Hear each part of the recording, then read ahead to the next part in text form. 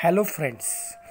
At the end of this lecture, you must be able to identify the elements of vapor absorption refrigeration system and explain its working cycle.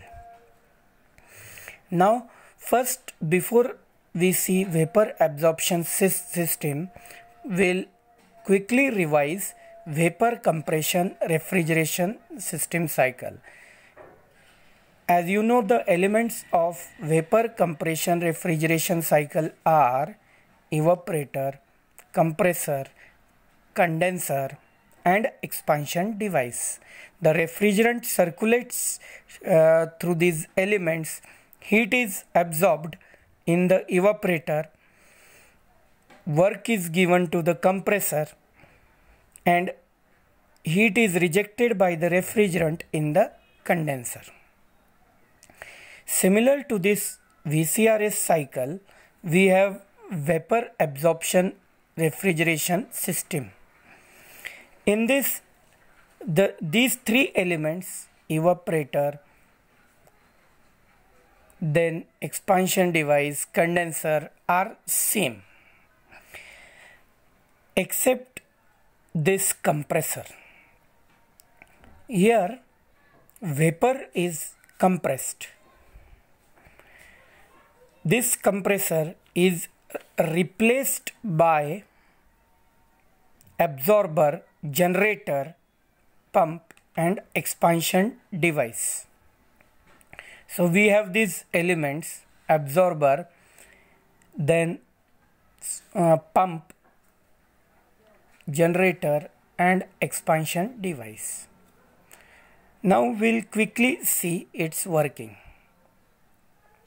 The low temperature, low pressure refrigerant absorbs heat in the evaporator.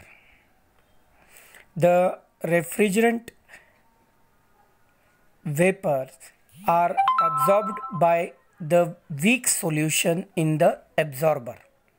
Here weak it means weak in refrigerant. This reaction in absorber it is exothermic.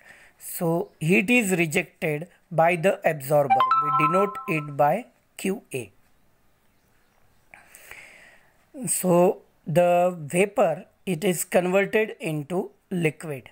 This liquid ref, uh, solution is pumped by the pump to uh, the condenser pressure and supplied to the generator. In generator, heat is supplied.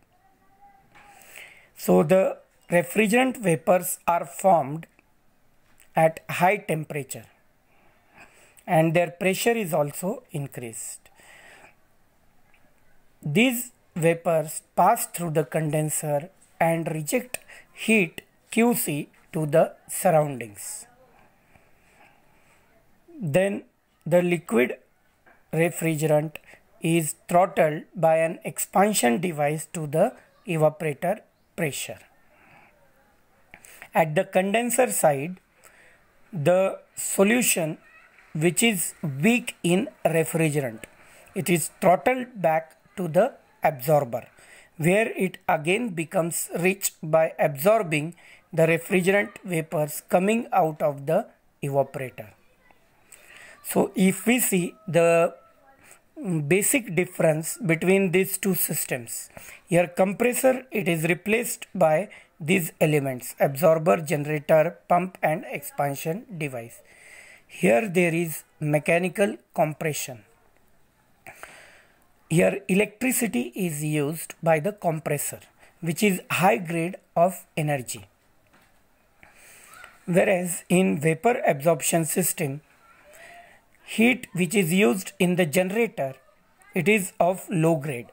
Generally solar energy or waste energy it is used. So there is thermal compression in vapor absorption system. If we see the coefficient of performance of VCRS uh, system it is the ratio of refrigerating effect to work of compression Similarly, in vapor absorption system, it is the ratio of refrigerating effect to the heat input. Here heat is provided in the generator as well as some amount of work is required by the pump. Generally this pump work it is neglected.